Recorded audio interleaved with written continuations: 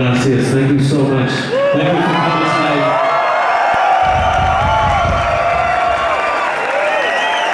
We're happy to be here. We wish, I wish we could stay in Madrid. Wish we could stay with you. Next time, next time. We love you.